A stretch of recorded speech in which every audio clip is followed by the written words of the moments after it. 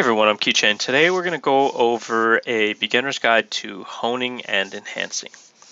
Now, after you've crafted the Fire Demon guard weapons, you can do what's called honing on them. Now, in the main menu here, you there's the upgrade tab and the hone tab. When you hit hone, you can go down here and each time you hit the hone button, it's going to, after your 5 free each day, it's going to cost you 100 gold to roll three benefits. And here's an example. I got troop attack, troop defense, and cavalry attack. Now the other thing you can see is that two of these are green and one's blue. Let me show you the difference out here. The best roll you can get is purple, followed by blue, and then green. So the goal here is to get three purple benefits on each weapon and to get attack stats. Um, you may want in the future to have a different set of guard weapons for gathering or other type things, which I could totally see happening. But for now, you're going to probably want your main stats, unless it's your farm, to be attack stats or, you know, stats of that nature. So going back to the honing process, I can either keep these three or I can re-roll and each time I, I re-hone, I get the choice to retain my old benefits or keep my new ones. So here we're just going to keep honing until we get a purple benefit. So we're just going to keep clicking through, burning gold, trying to get a purple benefit. There's distance attack. So we're going to hit replace here. Now, you can lock in this distance attack and when I do, the price to hone goes up because only these two, the top and the bottom, are going to hone now. So we're kind of fine tuning, it gets more expensive. So we're going to keep going, trying to get another purple stat. A purple attack stat, I should say. So here's infantry attack. So we're going to replace this. We're going to keep it by locking it in. Now the price went to 2,000 gold per hone, and each time it's just going to hone the top stat. So here we're looking for another purple. We're just going to burn through these trying to get another purple stat. This one I might keep, um, but for now, for purposes of the video, I'm just going to keep going till we get a purple. So that's what we're after. Now, it takes a while, and it's all random. It might cost you 4,000 gold, or you know, you might get lucky like I just did. This was a pretty lucky set to end all three. Now here's the other thing you, you have to be careful of. You can't lock the third stat. You can't lock it and say, I'm done with this. So be careful not to accidentally overwrite a weapon that you have three purple stats on, unless you want to change it and you want to go for all troop attack or all troop stats, which are more powerful than individuals. Let's do one more weapon, try and get all purples on this one as well, just so you can see kind of what it takes. So just looking for the color purple with attack stats. So on here,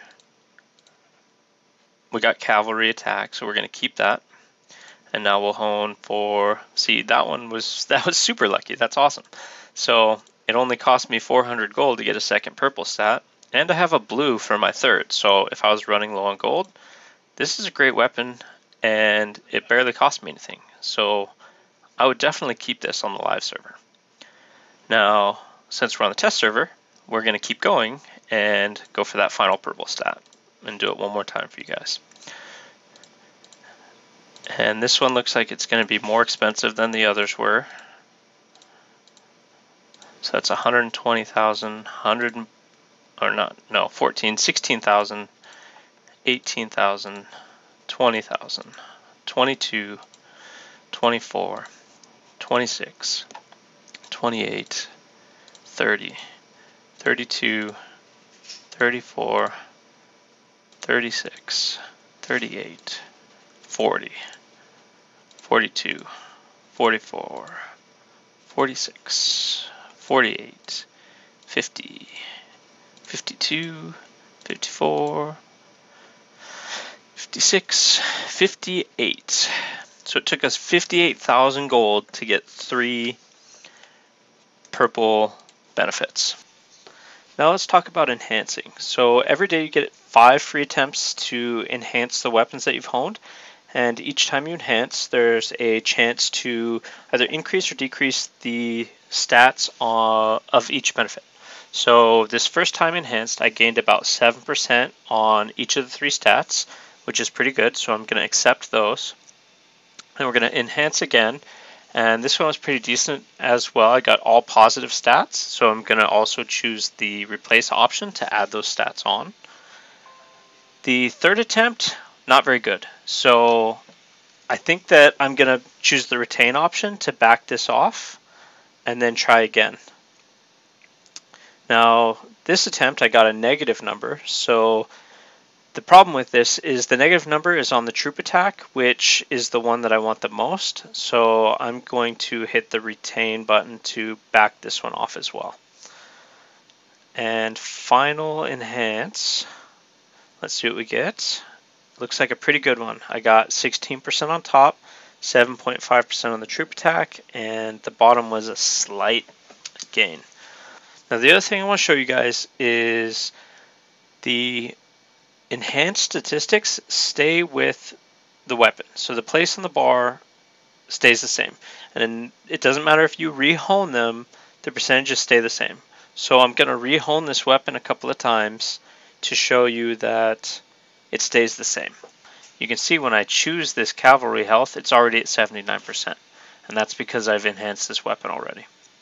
So now we're going to go for the third purple stat. And I cut out a bunch of the attempts in between because I didn't want to run on again, burning, you know, 25, 30 attempts worth of gold.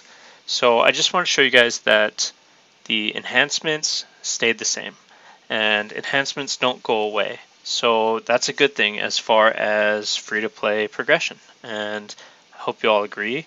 It's going to be hard to get purple, but when we finally do, or if you get lucky, it'll be worth it and you'll still have your enhancements from when you had blue or purple stats or blue or green stats.